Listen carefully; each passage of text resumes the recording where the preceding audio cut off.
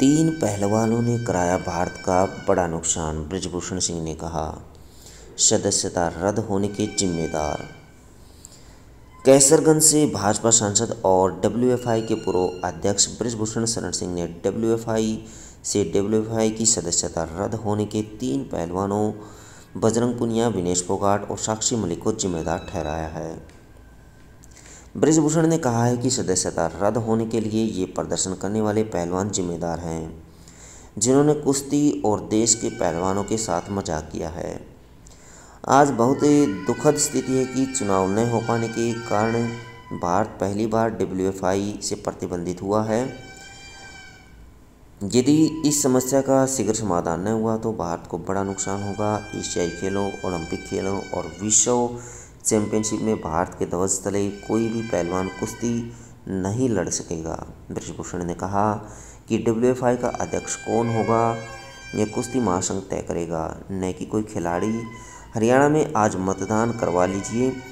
फिर देखिए कौन किसका समर्थन करता है। मैंने जनवरी में चुनाव कराने की कोशिश की थी, लेकिन आपको पता है कि मेरे ऊपर क्या क्या आरोप लगाए गए हैं।